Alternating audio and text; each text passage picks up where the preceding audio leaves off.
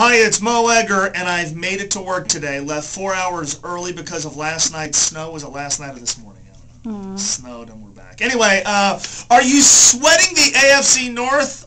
So, you know, big game on Sunday. Bengals and Browns, they're a game and a half out. They've beaten the Bengals already. The Ravens obviously won. They're a game and a half out.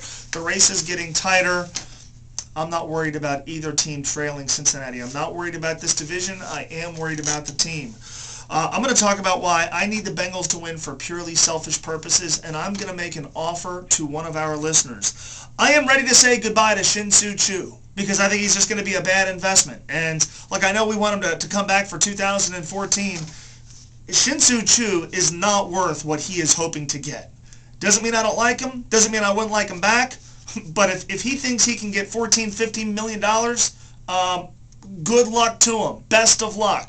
Huge night for local college basketball, and I think the city of Cincinnati should borrow from the city of San Diego. Not just weather, not just get a beach in here. In San Diego, you're not allowed to throw a football at a tailgate.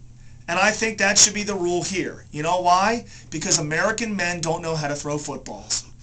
It's an epidemic that's sweeping the NFL. It's an epidemic that's sweeping tailgating lots. I am going to stand up for the good folks in San Diego who are finding people in tailgating lots. Seriously, finding people in tailgating lots for throwing footballs. Same thing should happen here. David Pollack's going to join us. Joe Reedy's going to join us. And you're going to join us too. Today, starting at 3.04 on ESPN 1530.